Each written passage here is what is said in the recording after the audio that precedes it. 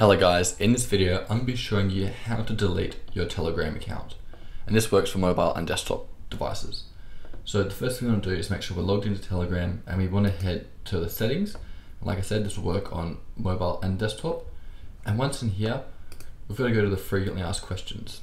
Now Telegram might to make this a little bit hard, but what we do, we want to scroll down until we find the area that says your account and then you see you have the option to delete your Telegram account. If you select this, tele Telegram then take you down to this question here and from here you want to go and go to this deactivation page. So this is where once you delete Telegram, this is where you're going to be able to do it.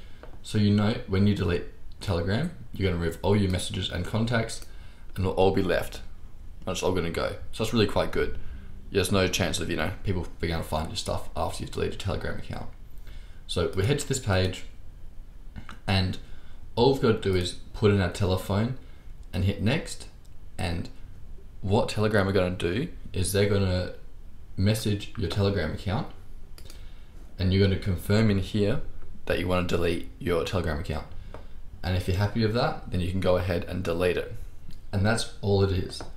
But like I said, Telegram like to make it hard. So remember, go to settings, frequently asked questions, head down to your account, delete your Telegram account, deactivate the account, and keep in mind this is going to be the exact same on mobile phones as it is on your desktop. In fact, I actually recommend doing this on desktop because it's a bit easier, it's a bit faster rather than scrolling on mobile devices and that sort of thing.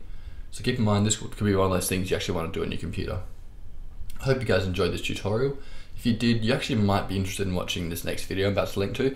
It's about how to advertise on Telegram. I know you're leaving the platform, but it actually is a really cool platform to advertise on. I recommend you give this video a watch.